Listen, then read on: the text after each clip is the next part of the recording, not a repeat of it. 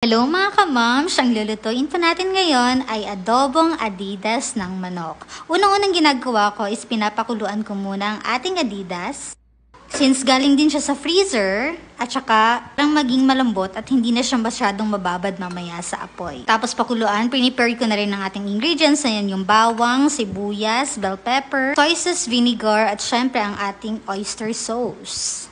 Siyempre, hindi makukompleto ang ating adobo na Adidas na tinatawag natin kung walang Adidas ng manok. Sasalang na po natin ang ating frying pan at saka painitin tapos lalagyan ng oil. Pagkatapos, gigisahin lang ang ating sibuyas at saka bawang.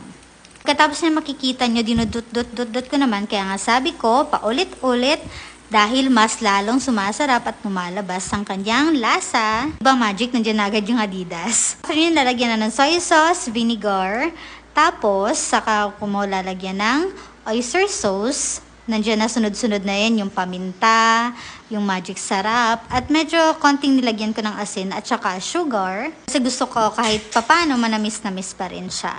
Tapos yan, halu-haluin nyo lang, hindi nyo na masyadong papatagalin.